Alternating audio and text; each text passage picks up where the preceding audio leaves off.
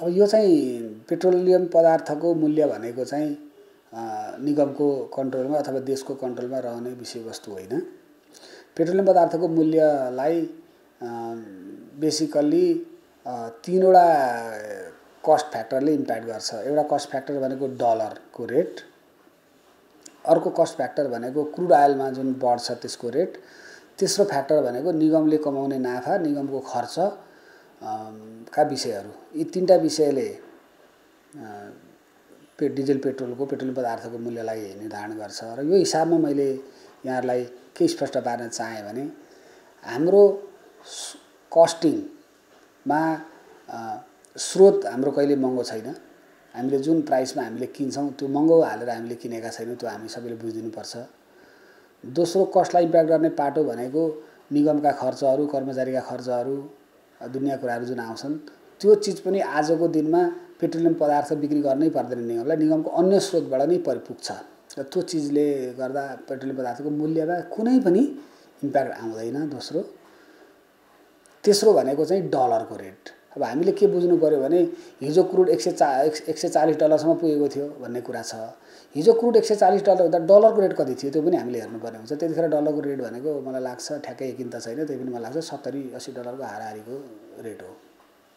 त्यो त्यो चाहिँ के छ भन्नुहुन्छ भने क्रुडको प्राइस र डलरको प्राइसको एउटा थम रुलमा अथवा एउटा चाहिँ प्र्याक्टिसमा स्ट्यान्डर्डमा भन्नुपर्दा चाहिँ एक डलर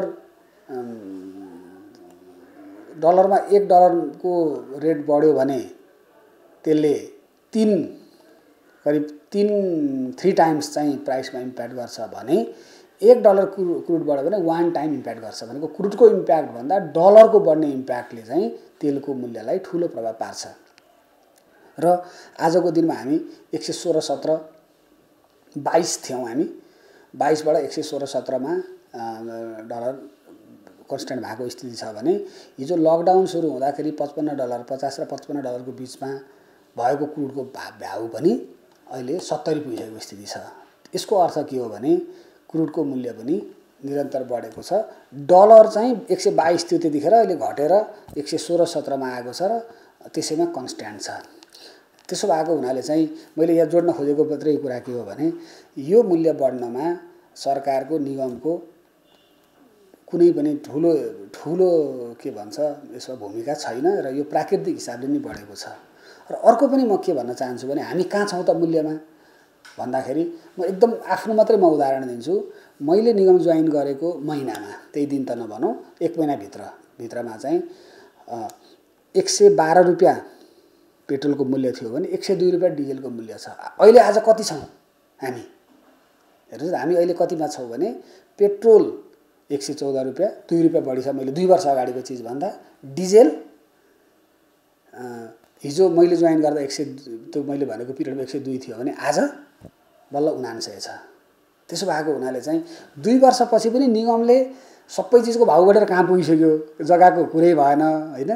त्यस्तै तपाईँको अरू खाद्यान्नहरूको कुरै भएन तरकारीहरूको कुरै भएन घर कुरै भएन। एउटै मात्रै नेपालमा यस्तो चिज छ जुनको मूल्य चाहिँ दुई वर्षदेखि बढेकै छैन। त्यसो भएको हुनाले चाहिँ यो कस्तो भने हेर्नुहोस् सुतेको मान्छेलाई उठाउन सकिन्छ तर त्यो जानी जानी त्यो अन्ठाएर बसेको मान्छेले उठाउन सकिन्न कि अब त्यो बुझ्नै चाहँदैनन्। एउटा हामी कहाँ एउटा मास छ एउटा चाहिँ एउटा चाहिँ छ हामी त हामी बुझ्नै चाहँदैनौँ। भन्ने त अब हामीले के गर्न सक्छौँ र त्यही पनि के हो भने अहिले पछिल्लो चरणमा चाहिँ मिडियाका साथीहरूले सोसियल मिडियामा धेरैले बुझ्नु भएको छ र सोसियल मिडियाहरूमा जुन कमेन्टहरू मूल्य बढेपछि आउँछन् धेरै कमेन्टहरू निगमको पक्षमै छन्। त्यसो भएको हुनाले मलाई लाग्छ हिजोको भन्दा आज चाहिँ हामीले अलिक बढी बुझाउन सक्यौँ पब्लिकले अलिक बुझिराख्नु भएको स्थिति छ। र समग्रमा मैले के भन्नु पर्दछ भने निगमलाई नोक्सानमा बेच्न नपरे हुन्छ। र हाम्रा तथ्य तथ्याङ्क त सबै हामीले त उदाङ्गै बनाइसक्यौँ सबै कुरो देखाइ पनि सक्यौँ सबै दिइ पनि सक्यौँ र कुनै पनि डाटा स्ट्याटिस्टिक्स कुनै पनि तथ्याङ्कले मैले भनेको विषयलाई सपोर्ट नै गर्छ। र त्यसो भएको हुनाले चाहिँ प्राइस बढ्दा हामीले मूल्य बढाउनुपर्छ घट्दा घटाउनुपर्छ निगम नै नेपाल सरकारको एउटा संस्था छ। बलियो पनि छ आज।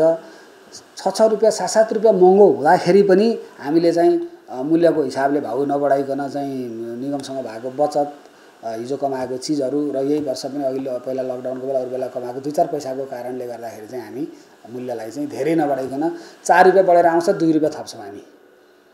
यस्तो स्थिति हुँदाहुँदै पनि हामी अहिलेसम्म निगम चाहिँ कमजोर नभइकन चलिरहेको स्थिति यो मूल्य वृद्धि यसरी लामो समय रहने हो भने हामीले कुनै पनि पोइन्टमा आएर चाहिँ ठुलो लेभलको मूल्य समायोजन गर्नुपर्ने परिस्थिति हुन्छ। संस्थालाई त हेर्नुहोस् अप्ठ्यारो पार्नु हुँदैन। आखिर निगम आज बलियो हुँदा पो हिजो कोरोनामा पनि हामीले सपोर्ट गरिसक्यौँ सरकारलाई भनेको ठाउँमा हामीले सपोर्ट गर्छौँ।